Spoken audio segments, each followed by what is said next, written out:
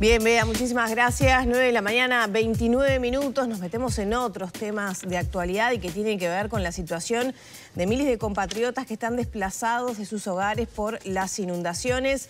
Es para conversar de esto que recibimos al director ejecutivo del Sistema Nacional de Emergencias, a Santiago Caramés. Bienvenido. ¿Qué tal? Días a los tres. Un poco cansado, ¿no? Mucho trabajo. con una chaira interesante. se, Complicado traerlo acá, justamente por todos los que he tenido que hacer. Sí, sí, sí. ¿Se enlenteció el retorno de, de personas a sus hogares, bueno, por los anuncios de precipitaciones, por el frío, etcétera? Sí, eh, y aparte más allá de que particularmente en, en Paysandú, en Salto, también en, Bella Unión y a su vez en, Cerro Largo, los niveles, algunos ya están por debajo de las costas de seguridad, se están estabilizando. También había alguna, algún anuncio puntual de algunas, de algunas tormentas para, para el litoral norte del país. Entonces fue un poco en coordinación con los coordinadores de los ECOED que dijimos, esperemos un poco, porque también el, volver a las casas, independientemente del proceso personal, que es un proceso angustiante, ¿no? Yo siempre digo que todavía creo que desde Montevideo no, no, no, no tenemos la cabeza de lo que es tener que salir de tu casa y después volver a tu casa con muchas cosas que, independientemente de lo material que perdiste o no, el, proceso es, es, muy angustiante. Y que no es lo mismo en verano que en invierno. Lógicamente, lógicamente.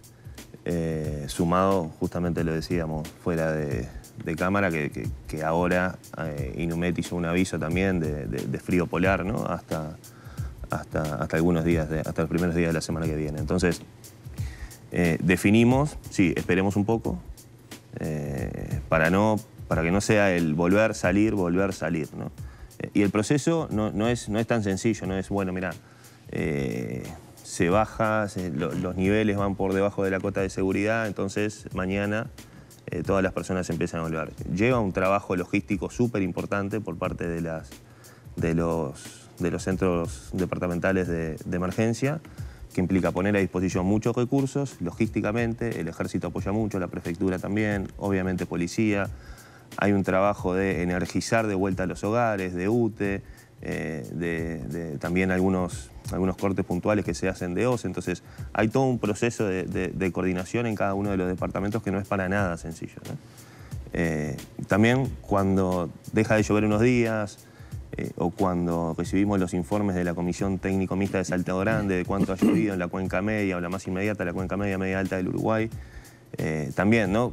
Cuando siempre al principio del informe, que llega bien tempranito todas las mañanas, dicen, no se han registrado lluvias, bueno, es como que aliviamos un poco, eh, pero a su vez sabemos que también tiene que hacer algún tipo de erogaciones en algún momento. Entonces, todas esas cosas también hay que coordinarlas para que volver a las casas también sea seguro, ¿no? ¿Y para cuándo se estima entonces ahora? Y bueno, yo creo que el fin de semana ya, ya, ya, empezaría. ¿Este fin, de, ¿Este semana? Sí, eh, este fin de semana ya empezarían a volver. A ver, 33 se hizo muy rápido, en 33 ya no hay, no hay personas desplazadas, perdón, hay algunas personas desplazadas puntuales en, la zona de, Charqueada. Justo me llamó ayer, antes de ayer, perdón, el, ministro de, Ganadería, el director de la Dinara, que había unos pescadores artesanales puntuales ahí en esa zona. Eh, y ahí hablamos con el, con el coordinador departamental de emergencias de, 33. Eh, luego sí, se lo deben imaginar porque salió en, en casi todos lados que hay también una afectación puntual a, la producción, de caminería rural, bueno, es todo lo que genera estas situaciones. Una emergencia incluso decretada. Exacto, y ahí hay 15 millones de dólares que se ejecutan a través de la Dirección Nacional de Vialidad del Ministerio de Transporte para, obviamente, para ayudar a la, reconstrucción de, la caminería rural. Eh, pero a ver, en 33 se terminó, en Cerro Largo eh, hubo un granizo relativamente importante ayer, antes de ayer, de, o sea, ayer de madrugada, eh, llovió toda la noche hoy, Estamos esperando, hay unos registros puntuales de, de Inumet de precipitaciones. Eh, pero nada, en realidad tenés que ver todo, todo, el panorama para, para, después ver cómo, cómo, cómo, empieza de vuelta ese proceso de, volver a las casas. Para Messi, entonces hoy 24 de mayo hasta ahora, ¿qué cantidad de desplazados tiene el país? Las últimas cifras rondaban en los 2.000 largos, ¿no? Sí, hoy hay, eh, pues ayer se sumaron de Cerro Largo, hay unos 3.046, si no me equivoco, o 3.048. Eh, personas desplazadas, ¿no? La mayoría son autoevacuados, a grandes números es un 2.500 autoevacuados y unas 500 personas evacuadas. ¿no? Paysandú sigue siendo el más afectado, el departamento con más desplazados. Paysandú sigue siendo el más afectado. Yo justo el otro día estuve allá con el, con el intendente y también con, un equipo de, la dirección del SINAE y, con todas las instituciones que trabajan en los comités departamentales de emergencia. Creo que está bueno recalcar que cuando hablamos del Comité Departamental de Emergencia, más allá de que en cada departamento lo preside el intendente, el intendente están todas las instituciones del Estado eh, Nacional, eh, MIDES, eh, Salud Pública, ACE, obviamente las Fuerzas Vivas, ¿no? Ejército, Prefectura, Fuerza Aérea en los lugares donde esté, bomberos, policía. entonces, cuando, cuando se dan estas situaciones, se generan también muchas situaciones fuera de lo normal en, los lugares, ¿no? Hay gente que no se quiere ir lejos porque también, como siempre, están los amigos de lo ajeno que aprovechan estas situaciones para, para, tratar de, de, llevarse algo. Entonces hay algo puntualmente, una coordinación muy fuerte entre la policía, entre la prefectura, ¿no? Yo los veía eh, patrullando juntos en, gomones, ¿no? O sea, para, hemos tenido testimonios de gente en las... Eh, Azoteas. sí, en las pasadas inundaciones de que la gente no se quiere ir y, pasa días complicados, ¿no? Con la casa inundada abajo, se organizan. Eso es algo que todavía no, no sé si se ha podido resolver del todo, ¿no? A ver, yo creo que a la gente no la puedes obligar, eso es punto uno. Eh, y punto dos, testimonios puntuales que, he hablado, que, también han tenido muchas malas experiencias. Entonces eso hace también que, que, no te quieras ir. Eh, malas experiencias, eh, ¿a dónde son llevadas? Malas experiencias en, esos días que no están en sus casas. Ah. De eso, que vuelven a sus casas y no tienen nada. Eh, o sí, alguna experiencia mala en algún en algún lugar de, refugio. ¿sí? Son, son, cosas que pasan en el día a día. tampoco hay que alarmarse, lamentablemente pasa. Eh, Carmes, eh, eh, perdóname Maggie, em, en este proceso que arranca entonces el fin de semana, más allá de lo logístico, de la coordinación para los traslados, ¿el SINAE materialmente qué aporta? ¿Qué le, qué le da a esta gente? A ver, obviamente desde el primer día se le asegura según lo que nos pidan las intendencias, alimentación para todas las familias, también kits de, higiene de hogar, higiene personal, colchones, chapas.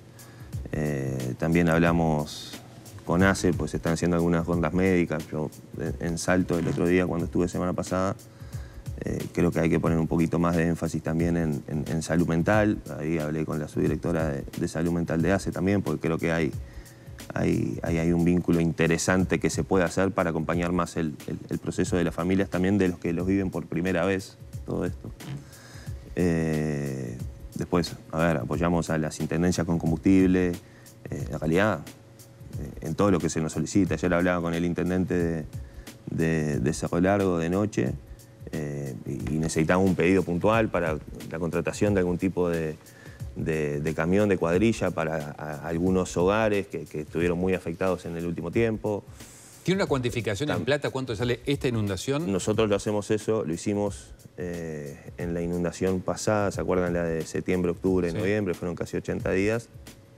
Siempre al final hacemos un, reporte, un reporte de, ver cuál es la inversión de todo el Estado, ¿no? Pero hay que entender que, a ver, yo pongo un ejemplo claro. No sé si se acuerdan, si ustedes lo sacaron, pero que hubo un paciente nefrológico que estaba a 30 kilómetros de, 33, que hacía dos días que no se estaba pudiendo hacer la diálisis. Bueno, de ahí salió un helicóptero de la Fuerza Aérea desde Carrasco, desde, la, base, desde la base número uno, en plena tormenta, se fue a buscarlo, se lo llevó y se lo llevó a, esa misma noche ya se podía estar dializando. Yo justo después estuve en 33 y estuve con él. Eh, entonces, lo que te digo es, eh, así es como se funciona una emergencia, ¿no? Eh, no importa las horas hombres, no importa la, playa, la plata que haya que poner, es eh, todo el Estado coordinando y poniendo en el buen sentido toda la fuerza y toda la capacidad que tiene para ir a buscar a una persona que estaba a 30 kilómetros de 33 para poderlo llevar a que se hiciera la diálisis. Yo creo que eso resume bien cómo se trabaja en, ¿Cuánto costó esa, esa, inundación pasada en el país? ¿Qué comparación se puede hacer con la de esta? ¿no? Si vamos, más o menos vamos a gastar lo mismo. No, no puede ser menos días. ¿no? Ahora llevamos 25 días de personas desplazadas. Ya de pique, el anterior fue 80. Ahora no me acuerdo el número bien, te soy sincero, después se los mando por WhatsApp, pero el número claro el no costo de la anterior. De la pasada. Lo pregunto porque también puede haber una perspectiva a estudio que quizás sea incluso menos oneroso para el Estado, generar algunas soluciones definitivas no tengas duda. o una proyección que responder de esta manera, que por supuesto que es lo que se requiere, ¿no? A ver, algunas personas en Paysandú decían que iba, a ser la última inundación que iban a vivir. ¿Por qué? Pues también a través del Plan Avanzar, el, fideicomiso de, erradicación de asentamientos, que, un poco que, nuclea eh, el programa de mejoramiento de barrios, que nuclea el Plan Nacional de Relocalizaciones, eh, eh, y bueno, y después todas las regularizaciones y relocalizaciones que hay de asentamientos. Hay toda una franja puntualmente en Paysandú, que la vi con el intendente, y dicen, bueno, todas esas personas no van a vivir otra inundación. Eso es un concepto fuerte. Yo creo que ahí la, la, mejor política de gestión integral de riesgo en inundaciones, yo no tengo duda que son la inversión en vivienda. ¿no? Y, te das cuenta porque lo ves. Igualmente creo que Uruguay también luego debería dar un salto también para tener algún tipo de centro de evacuación que sea más allá de de, lo que tradicionalmente tenemos en Uruguay, que son eh, las carpas, que son, hay algunas carpas de SINAE, otras carpas del ejército, porque las carpas es algo muy bueno que, descomprime también situaciones, eh, pero eh, cuando hace mucho frío y también cuando llueve no es sencillo. Entonces, a veces yo no sé si no vale la pena tener algún centro de evacuación, me refiero que funcione solamente como centro de evacuación, porque estamos acostumbrados, lo dije la primera vez que vine, que fue la primera entrevista que di cuando vine acá. Digo, porque me dijeron que fue complicado de coordinar para venir. Creo que, Uruguay todavía, lo digo seguido, tenemos que elevar un poco la percepción de riesgo. Entonces no es que solamente van a venir inundaciones, sino a veces tener centros eh, preparados, eh, equipados, por si pasa algo es súper importante. ¿no? Es como tratar de cuestionar esa idea de que en Uruguay no pasa nada, ¿no? porque constantemente lo que vemos para atrás es que nos acordamos del SINAE o del Sistema Nacional de Emergencia o de los centros coordinadores de emergencia, ¿eh? cuando pasa algo. ¿Y, qué otras situaciones se pueden proyectar? ¿no? La más, la más probable son las inundaciones, este, pero imagino qué otras situaciones podrían generar eh, evacuados. Imagínate un incendio en una interfaz urbana, lo que puede llegar a ser. Eh, imagínate que eh, se genere, un incendio, pues lo primero se me ocurrió, se genera un incendio en un segundo piso de un edificio público. A ver, te doy un ejemplo claro. Fines del año pasado hubo un principio de incendio en un centro de mujeres con niños del Ministerio de Desarrollo Social. Ahí se hicieron algunas coordinaciones, eh, me acuerdo que yo estaba, me fui para ahí, tuve con, Gabriel Cuña, que es el director de calle, eh, y, ahí hablé con el coordinador de Montevideo, que en Montevideo hay un centro de evacuación que está en Peñarol, que solamente se usa para casos de emergencia.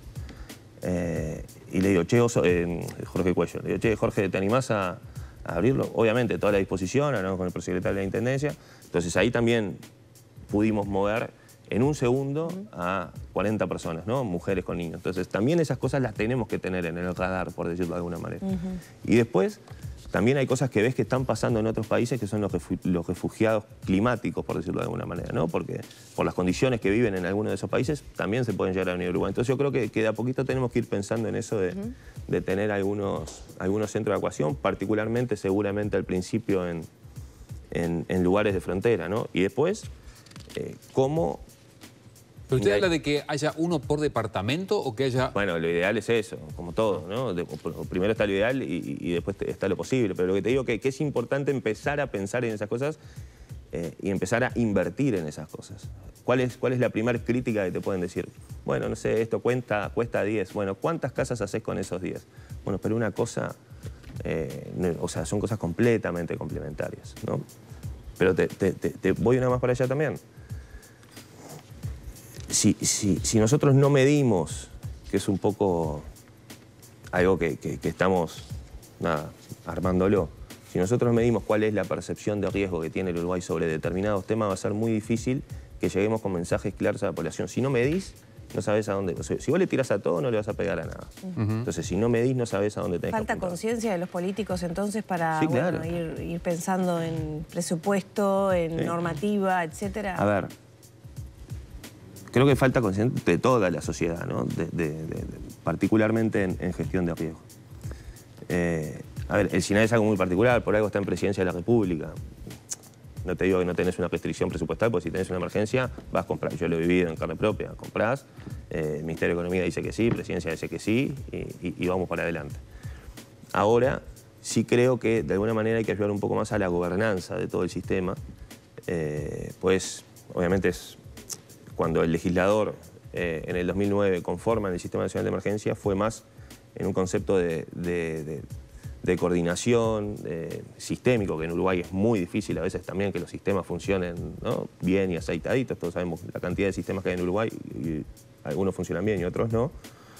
Eh, pero creo que hay que darle un poquito más de, de espalda. La primera espalda fue ponerlo en presidencia de la República. Creo que la segunda espalda después es es ajustar un poco más el presupuesto. Pero bueno, yo no voy a hablar del presupuesto ahora, porque justo es el momento que no, no podemos pedir, no pedir de cierre y, viendo un poco lo que ha ocurrido a lo largo de las últimas inundaciones, escuchaba al intendente de Salto ya más sobre el verano, pero se puede hacer como cierto análisis, investigación, acompañamiento de, las experiencias de estas personas y los resultados que pueden tener en su vida y pienso por consecuencias más que nada. Pienso, por ejemplo, en el sistema educativo, la afectación que tienen esos niños, en cómo puede impactar. ¿Se, va a hacer, ¿Se piensa hacer un seguimiento de esa realidad también para estas personas que continuamente se van, vuelven, dependiendo de si llueve o no llueve, si crecen los ríos o no? Sí, de hecho en el, en el censo hay algunas preguntas puntuales también que se hicieron. Eh, si alguna vez sufriste algún tipo de inundación o si sufriste algún tipo de, emergencia de ese lado. Eso nos va a dar un número frío, pero es un número.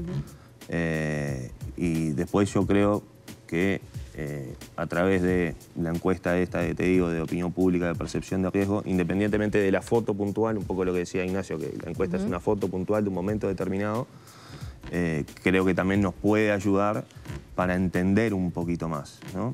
independientemente de, las, de las investigaciones que se vayan haciendo con, con algún organismo un niño multilateral. Que tiene que faltar a la escuela, tiene frío, tiene que dormir en una carpa, no está tan alimentado como en su casa, el impacto tal vez es distinto en el desarrollo no, tengo duda, que no. No tengo duda. Eh, pasa que me, está sacando algún tema. Eh, algo hablé con el director de Niñez de ACE y estábamos pensando en algo de eso. Bien. Carames, muchas gracias por estos minutos. Por favor, gracias a usted. Y bien hincha de la selección, porque usa el, termo... Me lo regaló, me lo regaló un portero de un edificio. Está bien. Cerramos por acá la entrevista, entonces ya son las 9 de la mañana, 46 minutos.